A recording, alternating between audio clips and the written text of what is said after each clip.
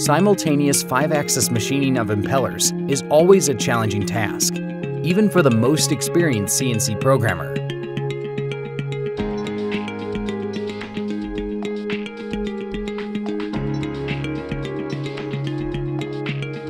The Esprit 5-axis machine tool solution for impeller provides the user with a cleverly designed cycle that simplifies the programming steps and increases machining precision.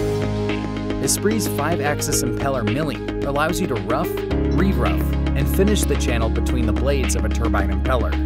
It also allows you to rough and finish impellers with splitter blades.